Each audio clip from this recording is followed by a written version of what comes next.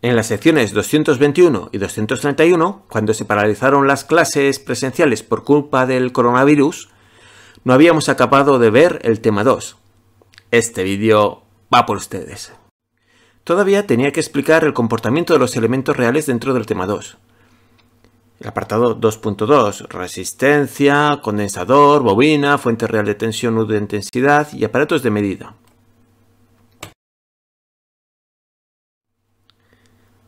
2.2 Elementos reales de los circuitos. La resistencia es un elemento básico y muy diverso en cualquier circuito. En el mercado es posible encontrar resistencias de muy diversos tipos, fijas y variables, para empezar a hablar. Las resistencias fijas son aquellas de cuyo valor se desea mantener constante. La primera foto corresponde a una resistencia como la que utilizamos en prácticas, cuyo valor se indica utilizando un código de colores. La segunda resistencia no está marcada con el código de colores, sino que su valor lo ha escrito el fabricante en su superficie. La tercera resistencia está esmaltada, pues algunas resistencias alcanzan elevadas temperaturas durante su funcionamiento. Un ejemplo típico son las resistencias de algunos electrodomésticos como el secador del pelo, el tostador, el horno, el calefactor eléctrico, etc. En circuitos electrónicos, las resistencias pueden estar encapsuladas de forma muy diversa e incluirse en circuitos integrados. Dentro de las resistencias variables, el ejemplo típico es el potenciómetro. Ahora desmontemos un bulo. Los potenciómetros no miden potencia. No, no, no. Son resistencias cuyo valor se varía manualmente y se utilizan mucho en aparatos eléctricos para ajustar algún parámetro, como puede ser el volumen de un equipo de sonido o estimar la posición del pedal del acelerador en la centralita de un vehículo moderno. Los potenciómetros suelen tener un eje giratorio, aunque también existen potenciómetros con cursores lineales. Los sensores resistivos son resistencias que se diseñan para que su valor varíe de forma precisa y repetitiva con el fenómeno físico que se quiere medir. Es decir, los sensores son los ojos de los circuitos. Los motores y los actuadores, como electroimanes, son los músculos de los circuitos. Dentro de las resistencias variables por algún factor físico, los varistores o resistencias VDR varían con la tensión en sus bornes y pueden utilizarse para proteger elementos más delicados, como la electrónica, que controla el funcionamiento sofisticado de los circuitos, pero que suele ser delicada. La electrónica sería como el cerebro de los circuitos. Cuando no se necesita mucha precisión ni rangos elevados, la temperatura suele sensarse con termistores, que pueden ser de coeficiente positivo PTC o negativo NTC, según aumente o disminuya la resistencia con la temperatura. Es decir, que los termómetros que solemos tener en nuestros aparatos suelen ser de este tipo. En las fotoresistencias, el valor de la conductancia aumenta con la cantidad de luz que reciben. Se utilizan para encender mm, luces, para controlar el brillo de nuestro teléfono móvil. Existen muchos otros sensores resistivos, como aquellos que miden fuerzas y se utilizan en balanzas. Incluso el nombre del transistor, que del inglés viene del transfer resistor, en realidad era una forma de controlar inicialmente el valor de una resistencia en un circuito. Los parámetros de las resistencias fijas ya los vimos en el laboratorio de prácticas. Además del valor de la resistencia, también es importante la máxima potencia que es capaz de disipar sin sobrecalentarse, vamos, sin requemarse. Esta potencia va desde fracciones de vatios hasta los kilovatios. La tolerancia es la incertidumbre que tiene el valor de la resistencia y suele estar entre el 0,5% y el 10%. Los fabricantes indican estas características marcándolas sobre la superficie de la resistencia o mediante franjas de colores, como en las resistencias de laboratorios, que utilizamos resistencias de cuatro bandas de colores. El siguiente elemento real que vemos es el condensador. Sus prestaciones dependen de la tecnología utilizada. Suelen diferenciarse por el tipo de aislante utilizado. Los condensadores de poliéster y polipropileno consisten en láminas apiladas de estos materiales donde se ha metalizado su superficie para formar los electrodos.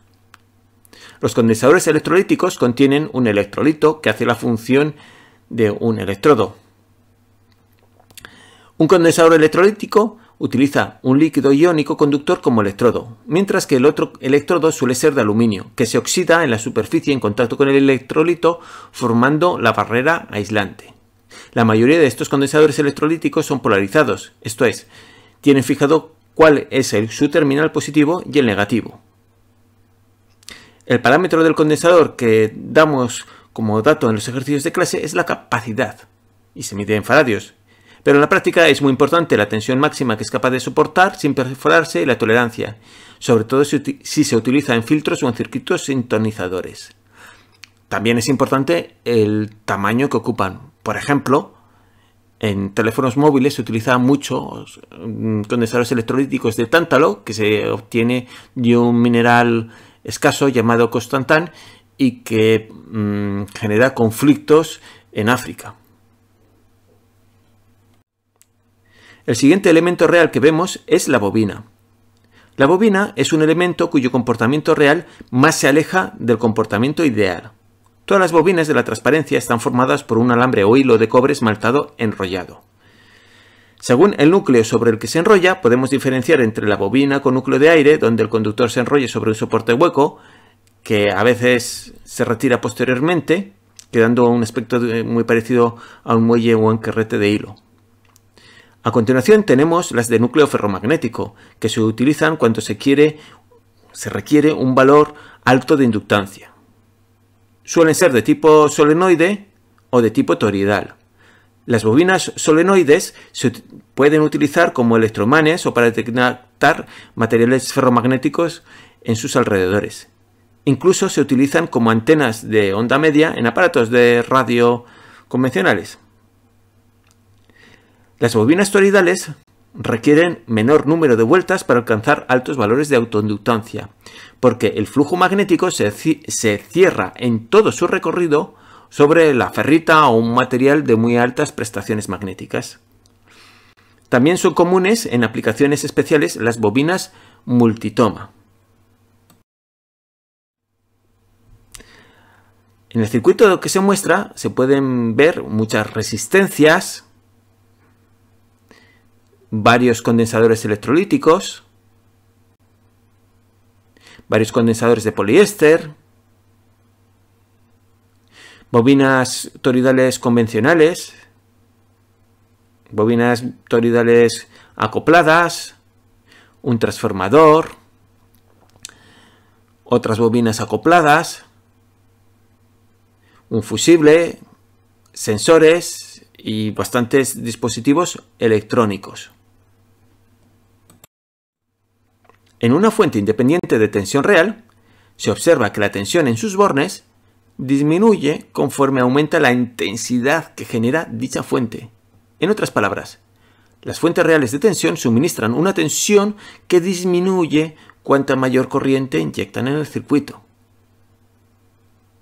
La gráfica de la tensión en bornes de una fuente real mm, de tensión es una recta descendente donde el cruce de ordenadas o eje es E sub G, la tensión en bornes del generador cuando no circula corriente por ella. E sub G también se denomina tensión de vacío o fuerza electromotriz de la fuente o del generador, como queramos llamarlo. La pendiente de la recta, en valor absoluto, tiene unidades de resistencia, es decir, ohmios, y se denomina R sub G. El circuito de la esquina inferior izquierda se denomina circuito equivalente de la fuente real de tensión porque su comportamiento es equivalente al de la fuente real. Rege por las mismas ecuaciones. Aunque la fuente real sea mucho más compleja que una simple fuente ideal de tensión en serie con una resistencia. Piensen en cualquier fuente que ustedes tengan como el cargador del móvil. La fuente real y el modelo equivalente muestran la misma dependencia de la tensión con la corriente. Cuando lleguemos al tema 6, veremos que el circuito equivalente de un generador real de tensión sinusoidal suele incluir también una bobina porque los alternadores contienen grandes bobinas o grandes electroimanes y su efecto es apreciable en circuitos de corriente alterna. Para poner en práctica lo que acabamos de aprender, vamos a hacer un problema de fuente real parecido al problema 222 de la primera edición o al 225 de la segunda edición del libro de problemas, que recomiendo hacer como parte del estudio. Si en bornes de una fuente real de tensión continua se conecta a una resistencia de 3 ohmios, la tensión que se mide es 7 voltios y medio. Si en bornes de esa misma fuente real se conecta a una resistencia de 1 ohmio, se mide una tensión de 5 voltios determinar los valores de los elementos que modelan la fuente de tensión. recapitulamos. El enunciado narra dos situaciones, donde se usa la misma fuente y cambia la resistencia que se conecta a ella. La mayor dificultad de este problema es abstraer del enunciado los circuitos que modelan las situaciones narradas.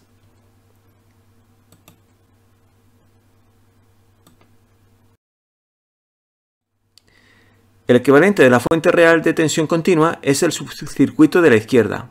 Una fuente ideal de tensión de valor desconocido E sub G en serie con una resistencia también de valor desconocido R sub G. En sus bornes se conecta una resistencia de 3 ohmios sobre la cual se miden los 7 voltios y medio. Por tanto, esa tensión es la que proporciona la fuente real. La ecuación de esa fuente real de tensión en el primer caso es 7,5 voltios es igual a la tensión de vacío E sub G menos la resistencia equivalente o interna del generador R sub G por I sub 1, donde la corriente que inyecta la fuente, en este primer caso, se obtiene aplicando la ley de Ohm. I sub 1 es, es igual a los 7,5 voltios que hay en bornes de la resistencia dividido por los 3 ohmios de resistencia igual a 2 amperios y medio. Cuando se conecta la resistencia de un ohmio, en sus bornes se mide 5 voltios. Por tanto, la fuente real proporciona ahora en sus bornes esa tensión de 5 voltios. La ecuación de esa fuente real de tensión en el segundo caso es 5 voltios es igual a la tensión de vacío E sub G menos la resistencia equivalente o interna del generador R sub G por I sub 1, donde la corriente que inyecta la fuente se obtiene aplicando la ley de Ohm. I sub 1 es igual a los 5 voltios que tenemos en bornes de la resistencia, dividido por un ohmio de resistencia, es igual a 5 amperios. Tenemos dos ecuaciones con dos incógnitas, la tensión de vacío y la resistencia interna de la fuente. Resolviendo el sistema de ecuaciones obtenemos que la tensión de vacío E sub G vale 10 voltios y la resistencia interna R sub G vale 1 ohmio. Si dibujamos la gráfica de la tensión en bornes de la fuente, vemos que el cruce con el eje Y o eje de ordenadas es la tensión de vacío, E sub G, 10 voltios, y que la pendiente decreciente de la recta es de 1 voltio por cada amperio que aumenta la corriente, o lo que es lo mismo, un ohmio, el valor de la resistencia interna o equivalente a la fuente.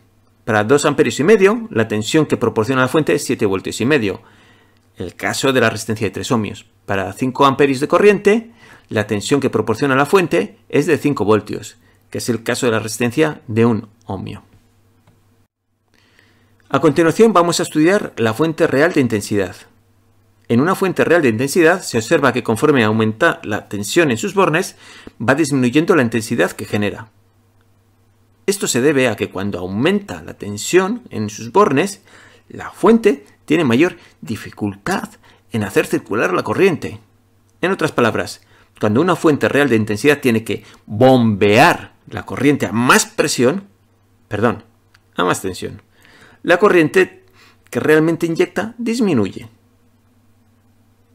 La gráfica de la corriente que genera la fuente en función de la tensión en sus bornes es una recta descendente que tiene una pendiente G sub G que en valor absoluto tiene unidades de conductancia, es decir, Siemens, que es el inverso de los ohmios. Esa conductancia se denomina conductancia interna o equivalente de la fuente o del generador, como queramos llamarlo. El circuito de la esquina inferior izquierda se denomina circuito equivalente de la fuente real de intensidad porque su comportamiento es equivalente al de la fuente real, aunque sea aunque la fuente real sea mucho más compleja que una simple fuente ideal de corriente en paralelo con una resistencia. Piensen en la fotografía que les he puesto antes de un circuito electrónico. La fuente real y el modelo equivalente muestran la misma dependencia de la intensidad con la tensión, obedecen a las mismas ecuaciones. Cuando lleguemos al tema 6 veremos que el circuito equivalente de un generador real de corriente sinusoidal sustituye la conductancia por una admitancia, que se denota con la letra Y porque los generadores de corriente alterna tienen grandes eh, electroimanes o bobinas. A continuación vamos a estudiar el voltímetro. El voltímetro es un instrumento que sirve para medir la tensión existente entre dos puntos de un circuito eléctrico. Su símbolo en los diagramas eléctricos es una V dentro de un círculo. El voltímetro se conecta en paralelo con los dos puntos entre los que se desea medir la tensión. Por ejemplo, para medir la tensión en la resistencia 2, lo conectamos en paralelo con ella. El terminal positivo es la punta roja que conectamos en el terminal superior de la resistencia 2. El terminal negativo de la referencia de tensión equivalente al voltímetro es la punta negra, que conectamos en el terminal inferior de la resistencia 2. Un voltímetro ideal no absorbe corriente cuando mide tensión. Por eso, en el esquema, la intensidad del voltímetro es nula. Hemos visto que no circula intensidad por un voltímetro ideal. Precisamente por ser ideal, mide sin absorber o inyectar corriente, es decir, mide sin afectar al circuito. En la práctica, circula una pequeña intensidad proporcional a la tensión que, mide, ese comportamiento del voltímetro real se puede modelar colocando una resistencia interna R sub V en paralelo con un voltímetro ideal, tal como se ve en el circuito de la derecha. El valor de la resistencia interna es un parámetro que suele indicar el fabricante. Recapitulemos. Un voltímetro ideal lo podemos considerar como un voltímetro real, pero con una resistencia interna infinita, R igual a infinito. A continuación vamos a hacer un problema de voltímetros reales. En el circuito de la figura se conectan los voltímetros reales V1 y V2 en paralelo con dos resistencias de 1 kilo ohmio y el total se conecta a una fuente de 15 voltios. Determinar la resistencia del voltímetro V2 sabiendo que la resistencia interna del voltímetro V1 es de 10 kiloohmios y que la lectura de los voltímetros V1 y V2 es 7,33 y 7,67 voltios respectivamente. Para resolver el problema, primero me fijaré en el diagrama del circuito, con los símbolos de los voltímetros.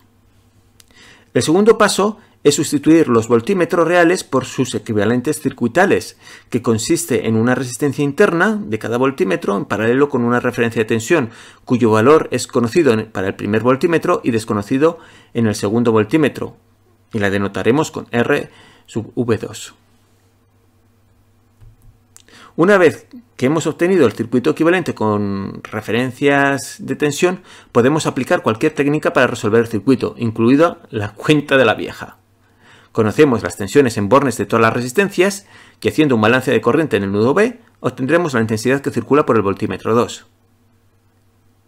Por arriba entra al nudo B 7,33 mA y 733 microamperios. Sale del nudo B 7,67 mA por la resistencia de 1 kilo y la intensidad del voltímetro 2. Haciendo un balance de corriente, obtenemos que en el voltímetro 2 circulan 393 microamperios y su tensión es de 7,67 voltios. Dividiendo la tensión-intensidad del voltímetro 2, obtendremos su resistencia interna RV2, que es de 19.517 ohmios. Les reto a que resuelvan este problema con este u otro método para ver si obtienen el mismo resultado que el que voy a obtener yo. Al principio del tema hemos visto que las, resistencias equivalentes y los divisores de tensión. Refrescaré estos conceptos aprovechando este ejercicio, donde tenemos dos pares de resistencias conectadas en paralelo y cada par de resistencia en serie entre sí.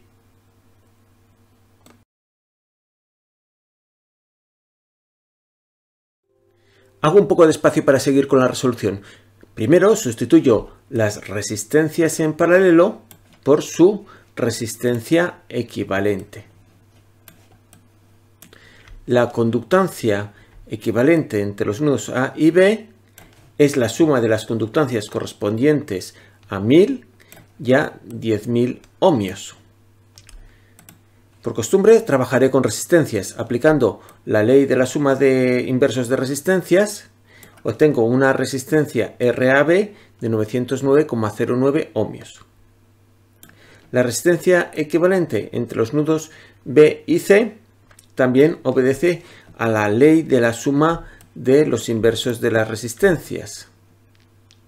Aunque no puedo calcular su valor porque la resistencia del voltímetro 2 es desconocida. El valor de la resistencia equivalente entre los nudos B y C la voy a obtener aplicando el divisor de tensión para refrescar su uso. La tensión en el voltímetro 1, que es 7,33 voltios, es proporcional a la tensión total que tengo entre los extremos de las resistencias que están en serie, que es los 15 voltios, son los 15 voltios. Y también es proporcional a la resistencia equivalente en donde estoy midiendo los 7,33 voltios, que son los 909 ohmios. Y es inversamente proporcional a la resistencia equivalente que tengo entre los 15 voltios, que es la suma de la resistencia RAB, que son 909 ohmios, y la suma con la resistencia BC, que es por el momento desconocida.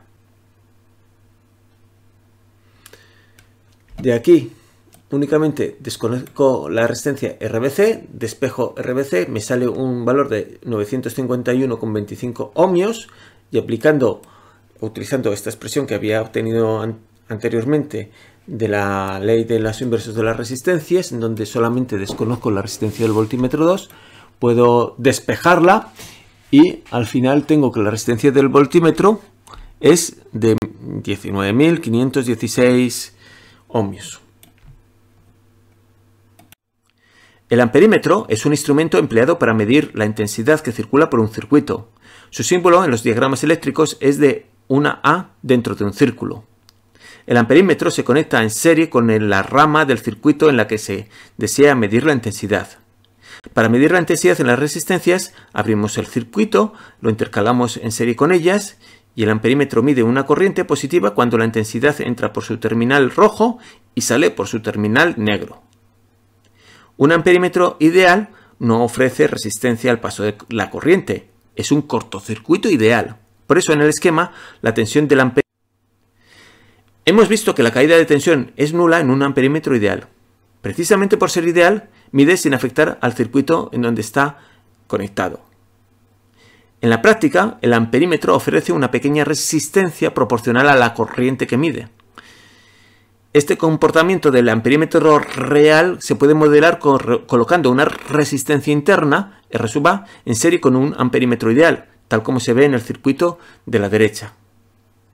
El valor de la resistencia interna es un parámetro que suele indicar el fabricante. Recapitulemos.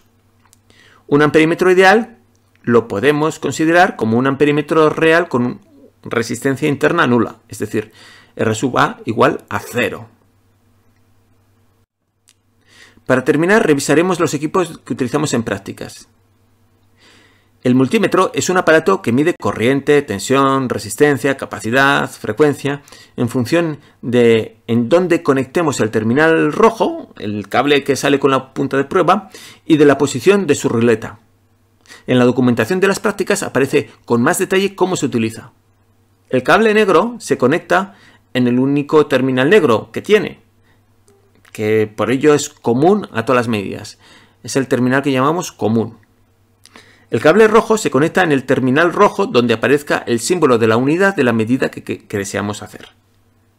Por ejemplo, para medir tensiones, el cable rojo lo conectamos en el terminal rojo con la letra V de voltios. Para medir intensidades pequeñas, el cable rojo lo conectamos en el terminal rojo con el símbolo de miliamperios. Para medir intensidades medias y grandes, el cable rojo lo conectamos en el terminal rojo con la letra A de amperios. Para medir resistencias, el cable rojo lo conectamos en el terminal rojo con el símbolo omega mayúsculas de ohmios. Con la ruleta ajustamos la escala más cercana por arriba al valor a medir.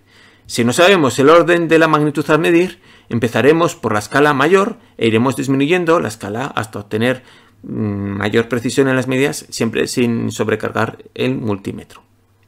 Para medir tensiones y corrientes continuas, es decir, constantes en el tiempo, utilizaremos escalas marcadas con el símbolo igual, que es el símbolo de corriente continua. Para medir tensiones y corrientes alternas utilizaremos escalas marcadas con el símbolo de una onda o vércula, que es el símbolo de la corriente alterna.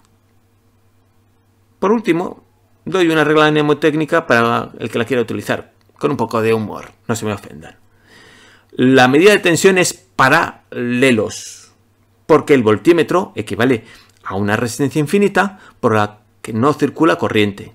Como es una medida muy poco conflictiva, se puede utilizar manteniendo unas medidas de protección básicas con las puntas de prueba y con el circuito a tensión, como lo hacen las personas que se ganan el pan trabajando con la electricidad. Las medidas de corriente son más conflictivas y como dan mucha guerra, hay que tomárselas en serie. El amperímetro es un cortocircuito que si lo conectamos indebidamente provocaremos un cortocircuito potencialmente destructivo. Por tanto, el multímetro se conecta en serie con los elementos que limitan la corriente y cuyo, cuya corriente se quiere conocer. Para medir corrientes, los amperímetros los fijamos previamente con el circuito desenergizado con tranquilidad. Los dos compañeros de prácticas comprobamos que el montaje es correcto y si tenemos dudas, antes de conectar llamamos al profesor. Para terminar, revisaremos para terminar, recapitularemos la representación de los equipos reales. El voltímetro se representa con una UP dentro de un círculo, con un terminal rojo positivo y un terminal negro negativo. Su equivalente ideal es una referencia de tensión a circuito abierto entre los terminales positivo y negativo. Su equivalente real es una referencia de tensión en paralelo con una resistencia del voltímetro entre los terminales positivo y negativo. La resistencia del voltímetro suele tener un valor elevado. El amperímetro se representa con una A dentro de un círculo un terminal rojo por donde entra la corriente y un terminal negro por donde sale la corriente. Su equivalente ideal es una referencia de corriente en el cortocircuito que va del terminal rojo al terminal negro. Su equivalente real es una referencia de corriente del terminal positivo al terminal negativo en serie con, una, con la resistencia del amperímetro. La resistencia del amperímetro suele ser pequeña. Ahora considero un aparato de laboratorio que en función de sus ajustes y de la resistencia al paso de corriente del circuito conectado, se comporta como una fuente de tensión o de corriente. Las fuentes ideales, por fijar una tensión o corriente independientemente de los circuitos que conectemos, se representan con un círculo.